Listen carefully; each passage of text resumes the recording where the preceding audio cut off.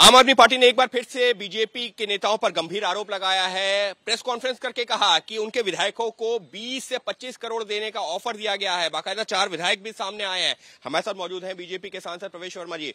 प्रवेश जी, बीजेपी के ऊपर आरोप 20 से 25 करोड़ रुपए एक विधायक को दिया जा रहा है और 15 से 20 विधायक उनकी जानकारी में बीजेपी के संपर्क में है। सरकार गिराने की कोशिश कर रहे हैं आप लोग, आरोप लगा रहे हैं। देखिये ये लोग तो बिल्कुल ही पागल हो चुके हैं। और जब से इनको लग रहा है कि हम सारे इसमें शराब माफिया में अपना फंस गए हैं, शराब घोटाले में तो इनका दिमाग बिल्कुल ही खराब हो चुका है। अभी समझ नहीं आ रहा कि उससे कैसे बचें।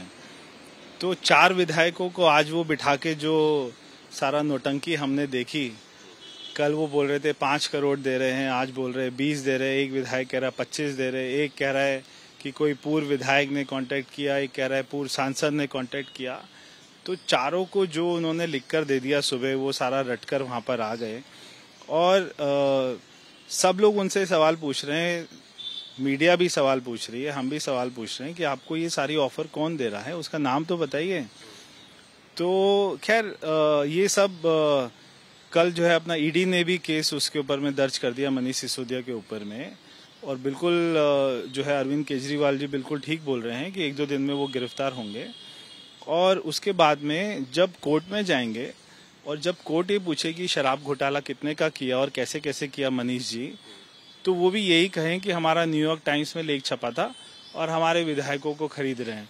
तो उसके जवाब में वो यही बातें बोला करें। हालाँकि जिस बार का आपने ज़िक्र किया ना एबीपी न्यूज़ भी लगातार जो है आम आदमी पार्टी के नेताओं से यही सवाल पूछा है कि किस नेता ने फ़ोन किया, लेकिन वो कह रहे हैं कि देखिए ये एक जगह की बात नहीं है, हर जगह इन्होंने ऐसा किया है। यहाँ पर तो विधायक सामने आकर के साफ़ तौर पर एक्सेप्ट कर रहे हैं कि हाँ उनके साथ ऐसा किया गया। तो इससे ज़्यादा क्या सबूत चाहिए? एक विधायक खुद कह रहा है कि हाँ मुझे ऑफ़र दिया गया। हाँ एक विधायक वो है जो अपने कुत्ते से अपनी बीवी को कटवाता था। एक विधायक को उसको बिठा दिया। बाकी विधायक सारे अपने अपने क्षेत्रों में क्या काम कर रहे हैं, वहाँ की जनता जानती है। तो पूरा मुद्दा क्या है कि वो शराब के ऊपर में कोई जवाब नहीं दे रहे, शराब से बचना चाह रहे हैं। और क्योंकि जवाब देने के लिए कुछ है ही नहीं, उनको मालूम है, वरना मैंने कभी नहीं देखा आज तक आम आदमी पार्टी से जो भी सवाल पूछा जाए, हमेशा उन्होंने उसी सवाल का जवाब दिया।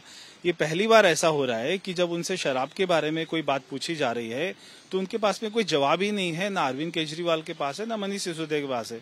बल्कि वो ये कह रहे हैं कि हमें बहुत ही जल्दी जेल में डाला जाएगा। तो उनको ये बात इसलिए पता है, जेल में डाला जाएगा क्योंकि उनको मालूम है, उन्होंने पाप किया है। और अभी वो और जो है सत्येंद्र जैन जो तीन महीने से जेल में है वो दोनों वहाँ पर अपना जो ना लूडो खेलेंगे। जो विधायक सामने आए उन्होंने कहा है कि देखिए धमकी दी गई अगर नहीं साथ में आओगे तो सीबीआई ईडी का इस्तेमाल होगा तुमको भी फंसाया जाएगा लेकिन हम लोग डरने वाले नहीं है।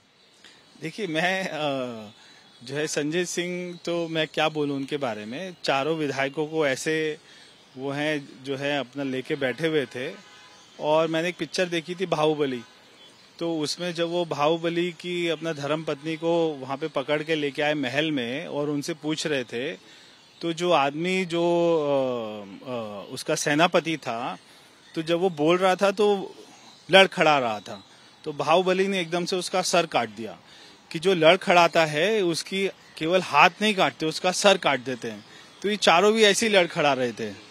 तो साफ़ तौर पर अगर जो है बीजेपी नेता की बात करें, बीजेपी सांसद की बात करें, उनका यही कहना है कि देखिए, अगर किसी ने ऑफ़र दिया है तो उसका नाम क्यों नहीं बता रहे हैं? क्यों गोल गोल बातें घुमा रहे हैं? और यहाँ पर तो जो है, मूल, जो मुद्दा है, उसी से डाइवर्ट करने की, ध्यान डाइवर्ट करने की कोशिश कर रही है। यानी कि बीजेपी एक बार फिर से हमलावर है, आम आदमी पार्टी के ऊपर। और साफ़ तौर पर कह रही है कि मुख्य मुद्दे से ध्यान भटकाने के लिए इस तरीके के अनर्गल आरोप लगा रहे हैं, बातें कर रहे हैं। सहयोगी कैमरा पर्सन अजय तिवारी के साथ अंकित गुप्ता, बीपी न्यूज़ दिल्ली।